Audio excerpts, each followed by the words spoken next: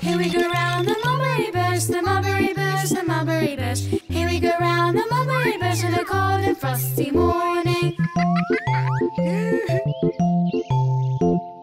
This is the way we wash our clothes, wash our clothes, wash our clothes. This is the way we wash our clothes in a cold and frosty morning.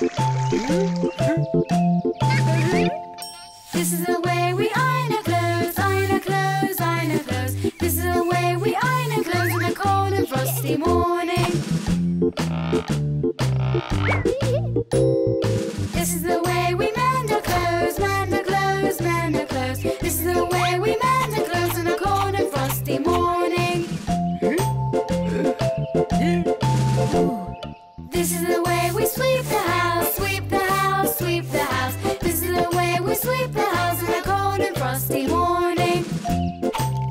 This